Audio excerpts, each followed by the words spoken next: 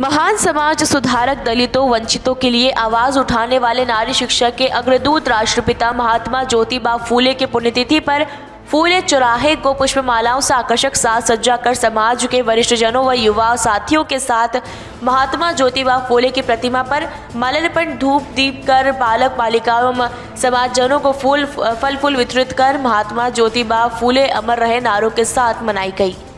मंसूर से रवि पोरवाल की ये रिपोर्ट।